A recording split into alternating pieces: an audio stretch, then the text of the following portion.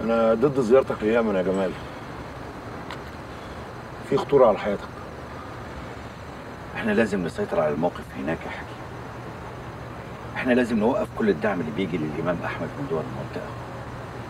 بعدين أنا ما اخبيش عليك بقيت قلقان جدا من تطور العلاقة ما بين جونسون وإسرائيل. أنت بتبني نظريات يا جمال بالذات مع اللي اسمه حسنين هيكل وبتصدقه والموضوع بعد كده بيسيطر على تفكيرك. مش كده يا حكيم؟ أنا إحساسي مبني على معطيات واقعية شايفها قصادي كينيدي كان ماسك العصاية من النص. أما جونسون فهو رايح في علاقته مع إسرائيل للآخر. عشان كده يا حكيم إحنا لازم نوحد الجبهات. مش فاهم. وده إيه علاقته بالدعم اللي بيحصل في اليمن؟ أنا قررت إن إحنا لازم نعمل مؤتمر قمة عربية هنا في القاهرة. وأنا بلغت عبد القادر حسون يحضر دعوات كل القادة العرب عشان يحضروا المؤتمر. وأعتقد إن الملك سعود والامير فيصل هيحضروا وبرضه الملك حسين خاصة لما هيعرف إن إحنا واقفين معاه للآخر ضد إسرائيل في موضوع نهر الأردن. هيوقف معانا كده إحنا هنوحد المواقف كلها. وهنوقف كل الدعم اللي بيجي لخصومنا في اليمن. وهننتزع اعتراف بالثورة اليمنية.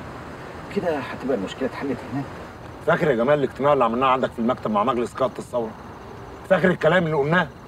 قلنا يا جمال ملناش دعوة بالقادة العرب. هم عندهم مشاكلهم وهمهم.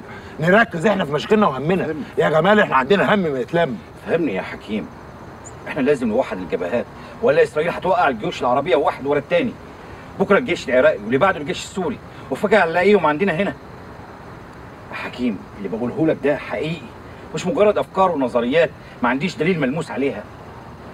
يبقى أنا يؤسفني أقول لك يا جمال إن إحنا ما نقدرش نحارب إسرائيل دلوقتي. محدش قادر إحنا هنحارب اسرائيل دلوقتي يا حكيم. لأن لا يمكن ادخل البلد في مغامرة زي دي.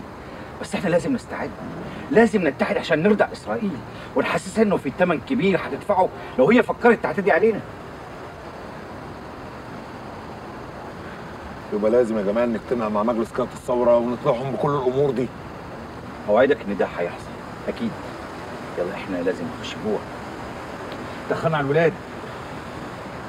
معاك حق.